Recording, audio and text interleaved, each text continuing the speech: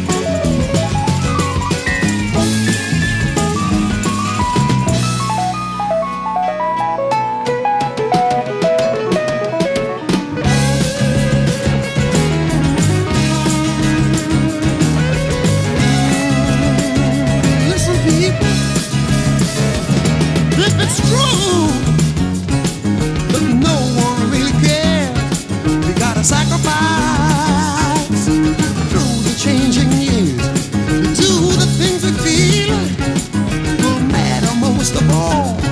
So let the people hear.